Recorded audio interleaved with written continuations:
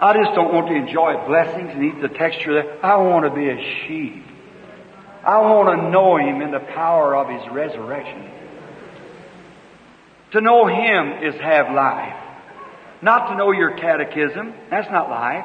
Not to know the doxology, not to know the Apostles' Creed is not life. Not to know the Bible is life, as good as it may be. But to know Him is life.